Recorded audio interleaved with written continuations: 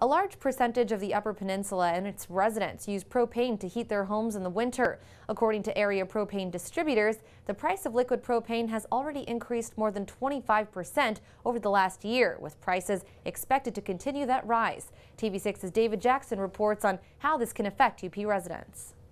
Propane is often one of the only ways to efficiently heat a building in the UP. Because of that, area residents can be subject to the whims of the market there's a lot of Marquette County that's rural America, and we certainly have to be cautious on how the impact to the seniors are going to be with the, the people that aren't connected to municipal uh, natural gas. The price of propane per gallon is already up 30 cents over last year, which is uh, equates per gallon extra two or three hundred dollars for the winter.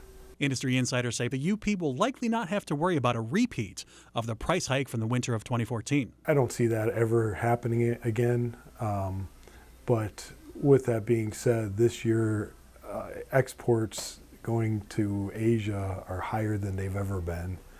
Um, so the supply is about the same, more or less, as it was that winter. According to propane industry experts, the exports of propane to Asia are up more than 25% over last year. Prices may be rising, but according to the National Weather Service, this coming winter is projected to be milder than previous years. But history says UP winters have a will of their own, and the increased prices of propane can force people to make an impossible decision. Whether it's you you fill your refrigerator with food or keep the heat on is, is a troubling issue. Marquette County officials remind everyone there are programs available for people who are having difficulty paying for heat.